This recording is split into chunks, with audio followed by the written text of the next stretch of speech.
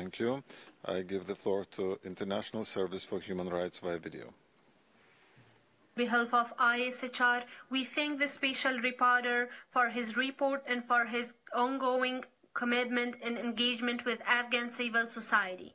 Mr. Special Rapporteur, your report speaks of a collapse of civic space inside the country, resulting from systematic and targeted arbitrary arrests and detention enforced disappearances and torture while we welcome the release of some HRDs from detention contributed by your interventions, a number of urgent cases remain such as that of Rasul Parsi Abdi.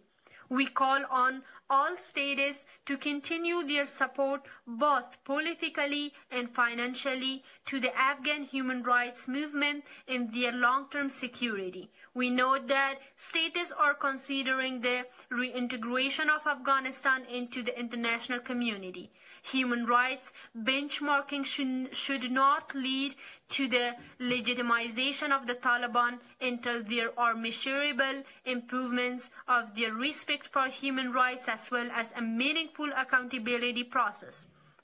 We continue our call for the establishment of a mechanism to engage deeper into investigations and collection of evidence for accountability of the Taliban. There cannot be an inclusive and stable Afghanistan without justice and accountability.